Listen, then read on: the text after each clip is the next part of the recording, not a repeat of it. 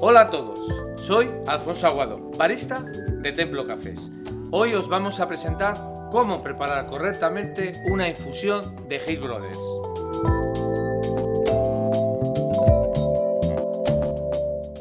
Ponemos las hojas de infusión en el filtro y lo introduciremos en el agua.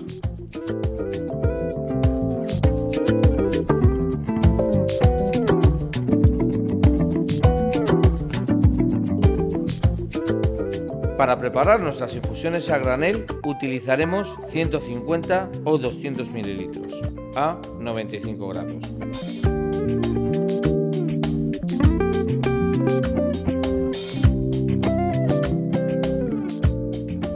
Esperaremos el tiempo indicado en la receta de la caja y a disfrutar.